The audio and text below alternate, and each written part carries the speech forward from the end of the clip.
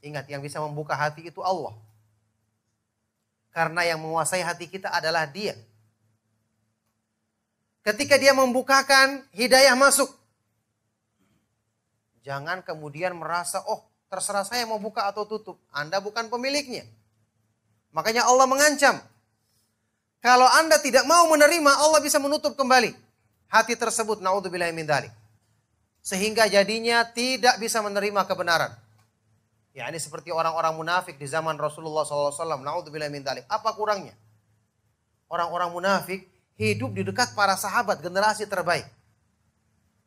Pembimbing mereka Rasulullah SAW. Langsung mereka saksikan akhlaknya. Ya ini kita saat ini mendengarkan hadis-hadis yang sahih, kemuliaan akhlak Rasulullah SAW. Kita beriman. Mereka lihat langsung. Tentu saja, laisal khobaru kal mu'ayyanah, iya kan? Berita tidak sama dengan menyaksikan langsung. Itu hadis sahih. Mereka lihat langsung. Al-Quran turun, Nabi SAW menjelaskan di depan para sahabat. Keindahan maknanya, keindahan hikmahnya, keindahan hukumnya. Mereka dengar. Apa kurangnya?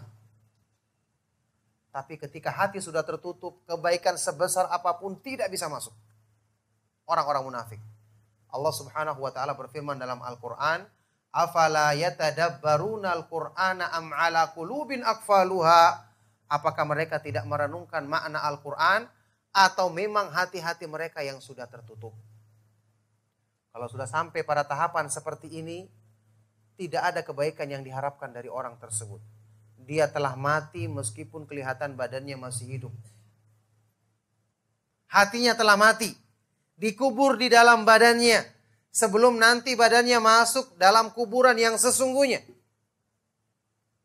Ini keadaan yang paling buruk yang menjadikan seorang hamba tidak bisa diharapkan lagi kebaikan darinya. Na'udzubillah min. Makanya jamaah sekalian rahimakumullah, sebelum keadaan ini menimpa kita dan tidak ada seorang pun yang bisa mencegah Allah ketika menginginkan hal ini ditimpakannya kepada hambanya. Kita hanya bisa berlindung kepada Allah dengan rahmatnya ya kita berlindung kepada Allah Subhanahu wa taala dari kemurkaannya dengan pemaafannya. Kita berlindung kepada Allah Subhanahu wa taala dari keburukan dosa-dosa kita dengan pengampunannya. Ini yang bisa kita lakukan. Makanya selagi masih ada kesempatan mencari sebab-sebab rahmatnya dan dia adalah yang maha luas rahmatnya, maka lakukanlah sebab-sebab tersebut.